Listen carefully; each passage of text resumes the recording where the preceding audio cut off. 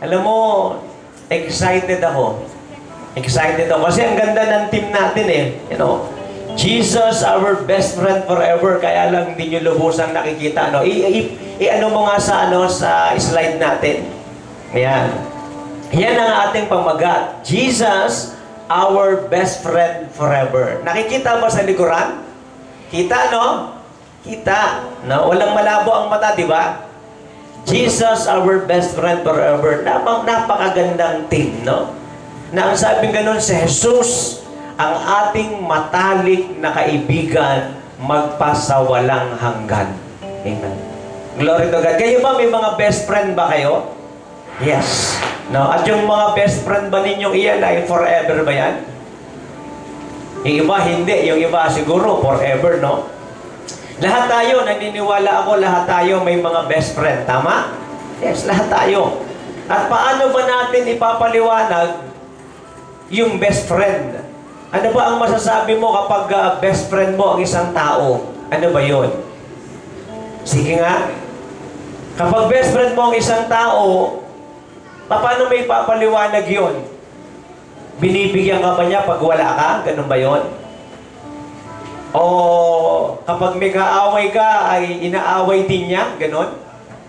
Kapag may kabati ka, ay batid din niya iyon? Ikaw ba'y dinadamayan niya sa gitna ng iyong pangangailangan? Sa gitna ba ng iyong pagtawa, tatawa rin ba siya? Sa gitna ba ng pag pag-iyak mo, iiyak din ba siya? How do you define best friend, no? Paano mo masasabi ng isang tao ay best friend mo? O paano mo masasabi sa sarili mo that you are a best friend uh, to somebody? Ano po? At mga minamahal sa oras na ito ay binigay ng Diyos sa atin ang team ngayong anibersaryo natin. Jesus, our best friend forever. Nakakatuwa ano po, di ba? Sinasabi sa akin ng Diyos, sinasabi sa iyo ng Diyos, na si Jesus ang ating matalik na kaibigan magpasawalang hanggan. Hello? Ipinapaalam sa atin ng Diyos sa oras na ito na si Jesus ang ating matalik na kaibigan magpasawalang hanggan. Meron tayong hindi lang kaibigan, meron tayong matalik na kaibigan, at ang matalik na kaibigan ito ay pangwalang hanggan, ang pangalan niya ay si Jesus.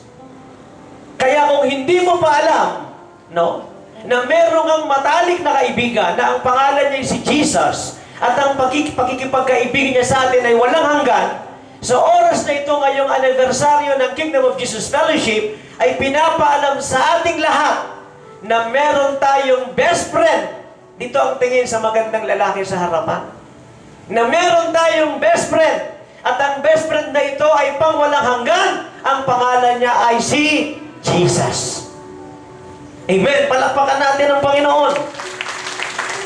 Sino yung nakaunawa sa akin? Taas nga po ang kamay. Sa oras na ito, pinapaalam sa atin ng Lord, meron tayong best friend. At ang best friend na ito ay eternal, everlasting, forever. No? At ang pangalan niya ay walang iba kung hindi si Jesus. At kapag best friend mo ang isang tao, no? She or he will stick with you side by side, no matter what, come what may, through sunshine or rain. Tama po ba iyon? Ang tunay na kaibigan, dadamayan ka, hindi ka iiwanan, sa gitna ng kalungkutan at kasiyahan, sa gitna ng karamdaman na at uh, kaginhawaan, sa gitna ng pag-iyak at pagtawa, ang kaibigan, ang matalik na kaibigan na ito ay hindi kanya ihiwalayan kahit kailan. And uh, we're glad to know and we're glad to be, na, na tayo ay mapaalalahanan na meron talaga tayong tunay at matalik na kaibigan na maaasahan sa habang panahon walang iba kung hindi ang ating Panginoong Heso Kristo. Alam mo, sabi nga nila, no man is an island. Tama? Mahirap mabuhay na walang kaibigan. Tama? Yes. Mahirap mabuhay na walang kaibigan. Walang kasangga. Kaya nga yung iba, naghahangad na maging member ng sorority, fraternity, no, ng gang. naghahanap sila ng mga kasangga eh. Na ng kanilang mga pangangailangan, meron silang kasangga, meron silang kakampi, merong dadamay sa kanila. So, ibig sabihin talaga, ang pinakamalalim na meaning o kahulugan ng ah, kaibigan, best friend, ay yung dadamayan ka sa oras na ikaw ay nangangailangan. Naunawaan ninyo ako? May nakakaunawa nga po yung pumalakpak? Yun. Kaya huwag lilipad po yung mga puso't isip ninyo. Ang tunay na kaibigan, ang tunay na best friend, yung dadamayan ka. No? Sa gitna ng ikaw ay nangangailangan, dadamayan ka niya. No? Kaya dapat sa mga mag-asawa, eh mag-best friend yan. No? Kaya kung kayo mga mag-aasawa, mga single lady and single gentleman, kung kayo ay mag-aasawa, dapat yung mga best friend ninyo. Amen? Kitao pa ho ba rito? Yes.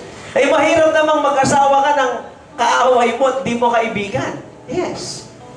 And sometimes, pag ano yan, ha, pag uh, siya yung ano mo, siya talaga yung mapapangasawa mo. So, dapat talaga mag-best friend kayo. Tama ba ako ron? Pero kung magka minsan sa mga magkakaibigan at mag-best friend, parang uh, hirap silang magligawan at uh, magsagutan dahil mag-best friend nga sila eh, no? Pero mas maganda talaga kung makakapag-asawa ka at mag, mag-aasawa ka, dapat yung best friend mo. Amen. Tama ba ako ron? Sino ang nag-a-agree doon? Taas nga ang kamay. Aba, kukunti ang nag-a-agree.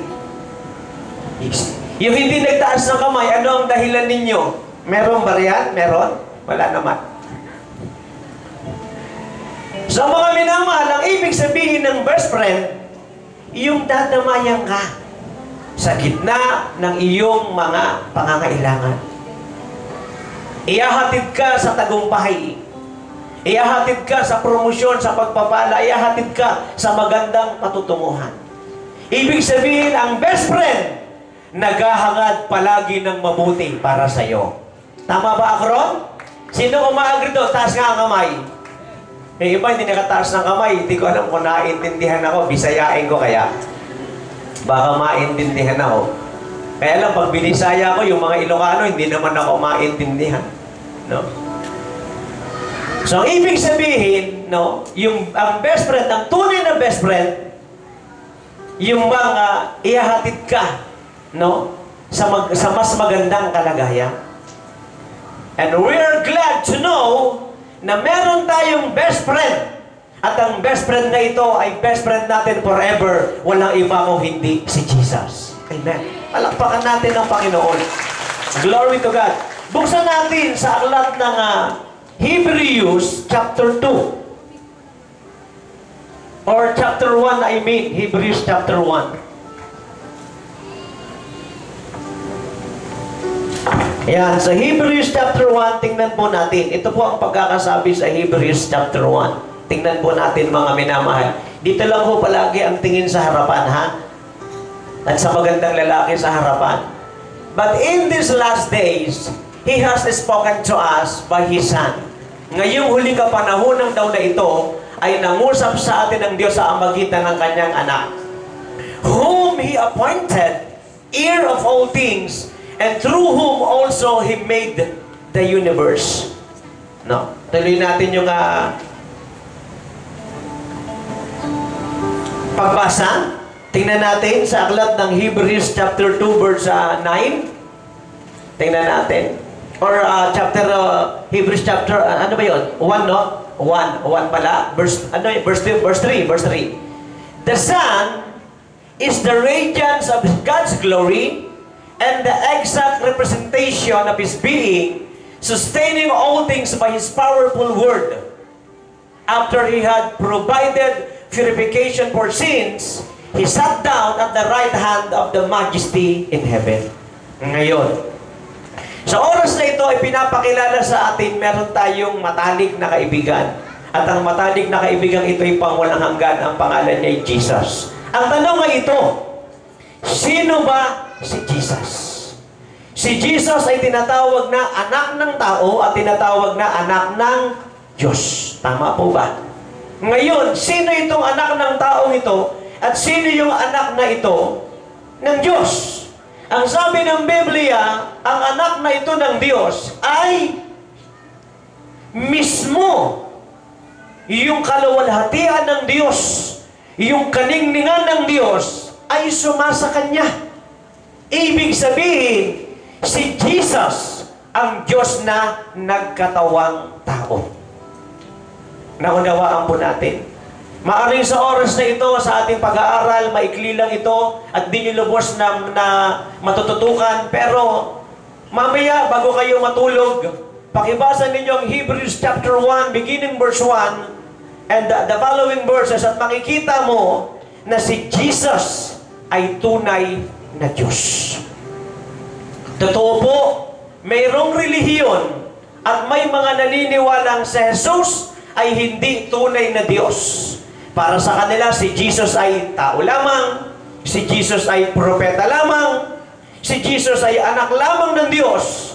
Ngunit ang Hebrews chapter 1 ay nagtuturo sa ating lahat kung ano yung larawan ng Diyos, kung ano yung kaluwalhatian ng Diyos, kung ano yung kaningningan ng Diyos ay na kay Kristo dahil si Kristo, si Jesus, ang Diyos na nagkatawang tao.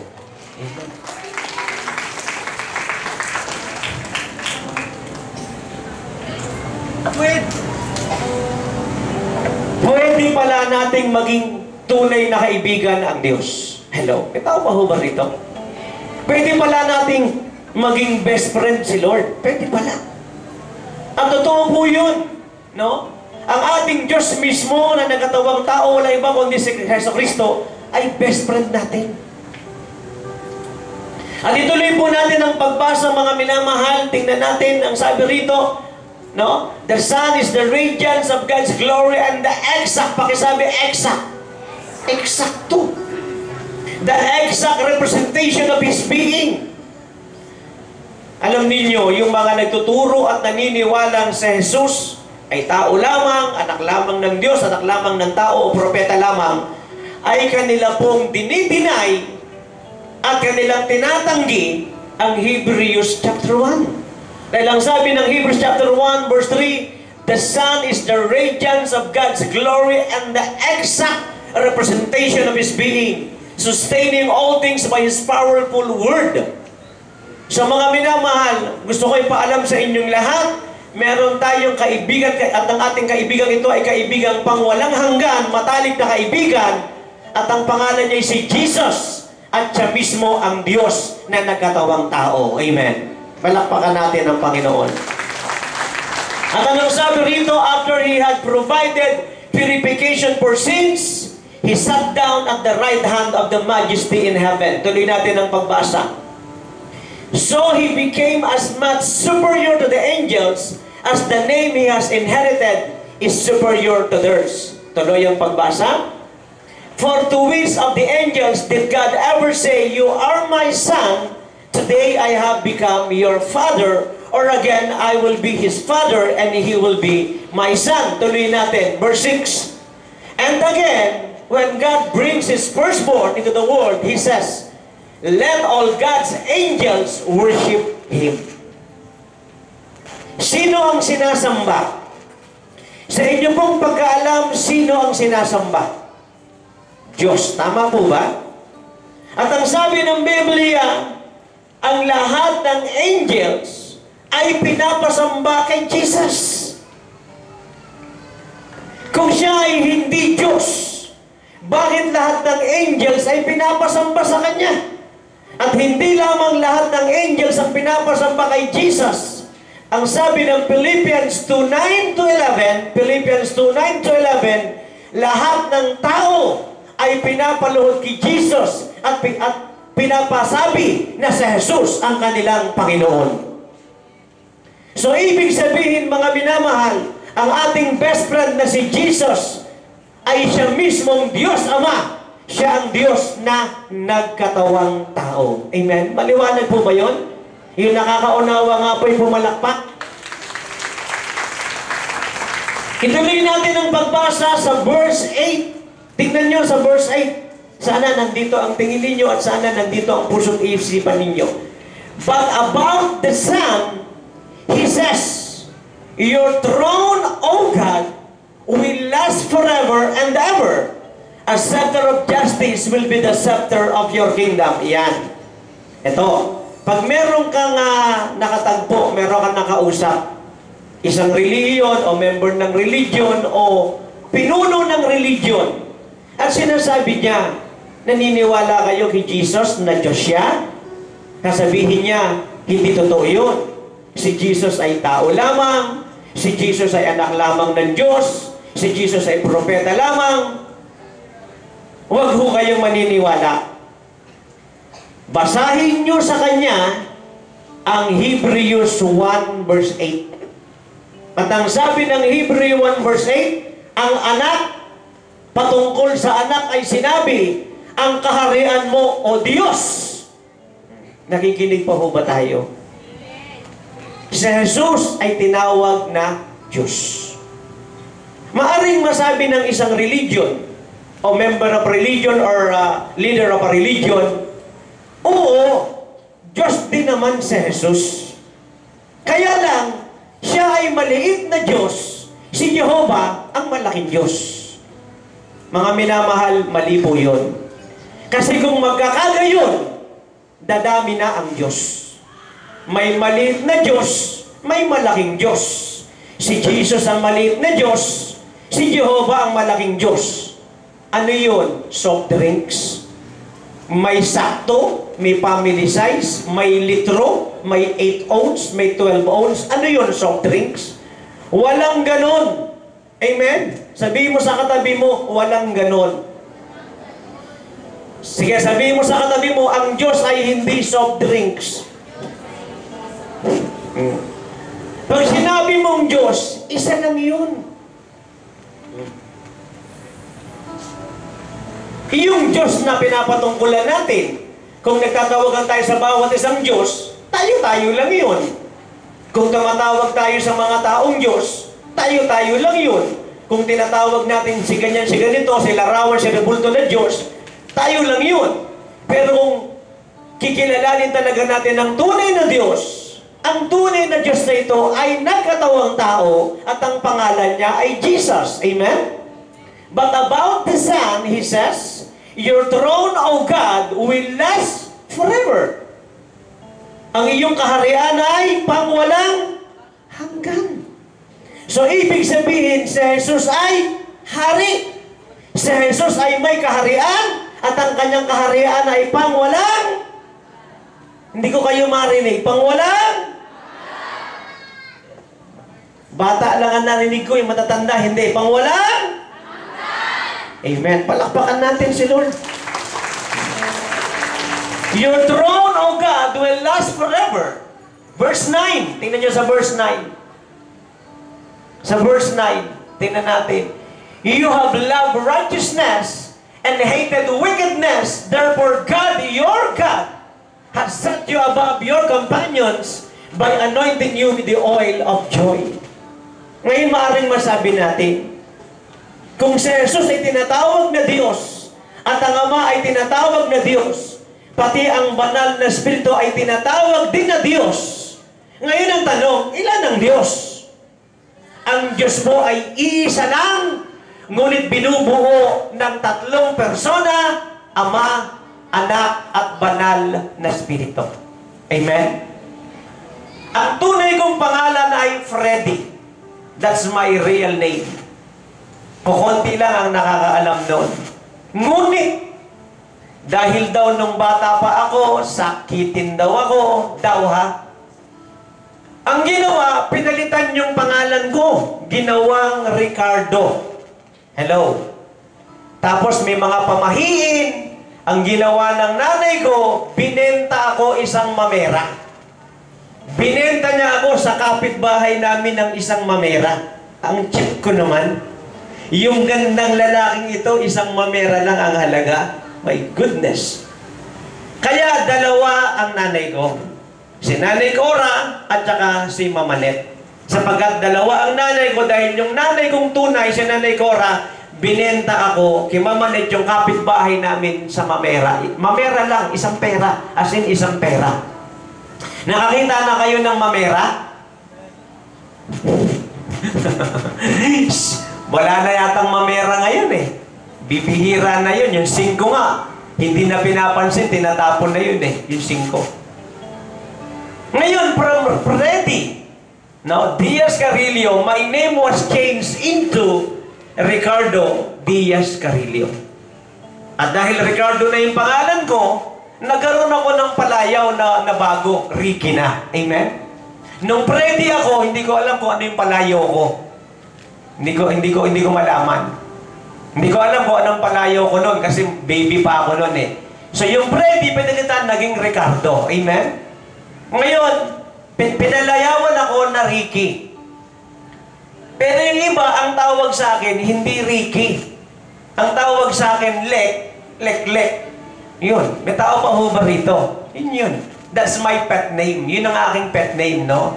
Kaya sa, pang sa mga close, close relatives ko, ang tawag nila sa akin si Kuya Lek. Yan. No? Ngayon, tanungin ko kayo. Yung Freddy na ngayon ay Ricardo na, na siya ring si Lek at siya ring si Ricky, ilan sila? Ilan? Isa. Ganunin din ang Diyos. Ang Diyos amang sumasalangit nung siya'y nagkatawang tao at nung nagkatawang tao sa Jesus sa mundong ibabaw na ito at siya ay nabayubay sa krus na kalbarot na matay at inilibing at umakat muli ng langit matapos magabuhay na maguli at ngayon ang ipinadala naman niya ay Holy Spirit. Ngayon, ilan ngayon ang Diyos? Isa lang. Dahil yung Father, yung Son, at saka yung Holy Spirit ay iisang Diyos lang. Amen? Palakpakan natin ang Panginoon. Hina ng palakpak talaga natin. Kaya mga minamahal, sa Hebrews chapter 1 ay ipinakita sa atin, no? Marami pa hong versikulo sa Biblia na nagpapakita na sa Jesus ay tunay na Diyos. Pero I believe with all of my heart, Hebrews chapter 1 is enough, is sufficient to prove to us that Jesus Christ, the Son of God, is the God manifested in the flesh. Siya ang amang nagkatawang tao. Ang sabi ng Isaiah 9.6, For unto us a son, a child is born, and his name will be called Wonderful, Counselor, Mighty God, the Prince of Peace, and the Everlasting Father. So ibig sabihin mga minamahal, si Jesus na ating kaibigan, siya ang Diyos na nagkatawang tao. Amen? Malakpakan natin ang Panginoon. Kaya, mali ang itinuturo ng religion, ng mga member ng religion at ng mga religious leaders na nagsasabing si Jesus ay tao lamang, anak lamang ng Diyos, anak lamang ni Maria, o propeta lamang. Sila ay mali, mawalang galang na maling-mali sila, dahil ang sinasabi ng Hebrews chapter 1, beginning verse 1 hanggang sa mga sumusunod na mga talata, particularly ang verse 8 at verse 9, si Jesus mismo ay Diyos at siya ay Diyos na nagkatawang tao. Amen. Palakpakan natin ng Panginoon. At sa oras na itong mga minamahal, sinasabi sa atin ng Diyos sa oras na ito, meron tayong tunay na kaibigan. Dito ang tingin sa magandang lalaki sa harapan. Meron tayong tunay na best friend. At walang iba kung hindi si Jesus. Siya ang Diyos mismo. Siya ang Diyos mismo na nagkatawang tao. Amen. Palakpakan natin si Lord. Hallelujah!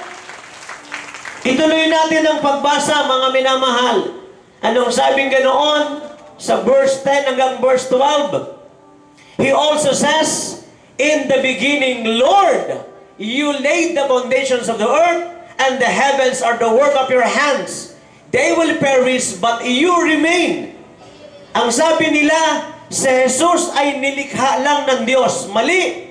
Si Jesus po ay hindi nilikha ng Diyos. Siya mismo ang manlilikha. Amen? At ang sabi ng Biblia, ang daigdig na ito ay nilikha ni Jesus.